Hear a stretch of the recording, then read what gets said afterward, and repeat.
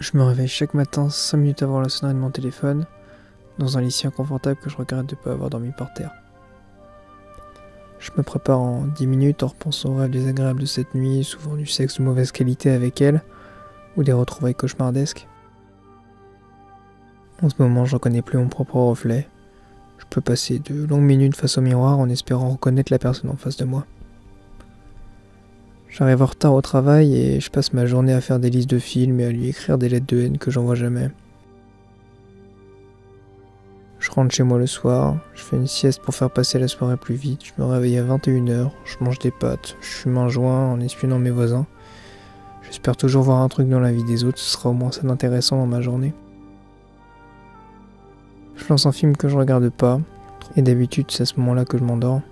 Mais ce soir ma coloc a ramené un mec je monte le son pour essayer de camoufler leurs discussions qui réussissent toujours l'exploit d'être plus cliché que mon film. Je passe ma soirée sur Instagram et Tinder comme si j'allais tomber par miracle sur une solution à ma tristesse. D'après internet, ça ira mieux dans 6 mois. J'ai envie de faire une ellipse de la vraie vie, mais ça marche pas comme ça. C'est absurde de dire à quelqu'un qui va mal que ça ira mieux plus tard. J'hésite à appeler une escorte, mais je me dis qu'elle va probablement s'ennuyer avec moi donc je sors pour marcher. Je marche pendant des heures dans la rue sans savoir où je vais.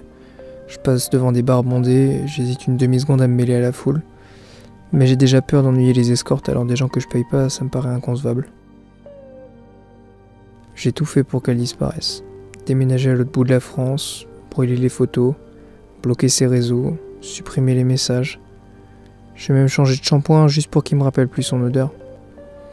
Tout ça dans le but de réussir à l'oublier comme si je serais capable d'effacer cet être humain de ma mémoire.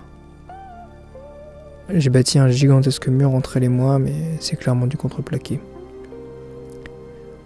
Bon. Il est 7h du matin.